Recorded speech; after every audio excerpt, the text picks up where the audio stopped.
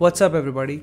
So last year I shared a video on how to install the OnePlus dialer with call recording feature, messages and contacts application and while those are users now on Android 12, so please don't try them out. But you can either disable the call recording prompt on Google Dialer just like I did show up in the shorts video and link to that is in the top right corner. But if you still have issues with the Google Dialer, don't worry. We now have almost totally working OnePlus dialer for all OnePlus devices running on OxygenOS 12. So in this video, let's just find out how you can do that on your device. And before we start, make sure to tap on that subscribe button if you haven't already, as it will keep you up to date with all the latest videos. And in case you wish to watch this video in Hindi language, here is a card to the BitTech Hindi channel.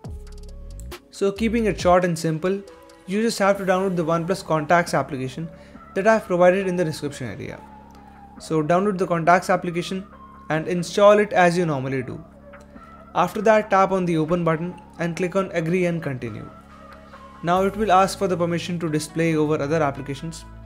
So click on allow. Now just tap on contacts and choose the always option. After this go to settings. Now go to applications. Choose default apps and here choose the contacts application as your default app. And now to turn on the auto call recording feature, open the dialer, go to settings and here you will find the call recording option. And now you can turn on this record all calls option.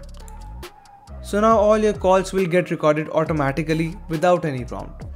Though the calls on loudspeaker still aren't getting recorded, so that's a small con for now. And you can just make calls on the new OnePlus dialer and check that it will work just fine. Also to get to your call recordings, go to the file manager here in the music folder there is the recordings folder and you will have all your call recordings in one single place. I know this isn't totally ideal but for now you can use this as everything works just fine mostly. And that's pretty much it for now. So if you do end up liking this video, make sure you share it with your friends and tap on that like and subscribe button if you haven't already. Thanks for watching and I'll see you guys in the next one.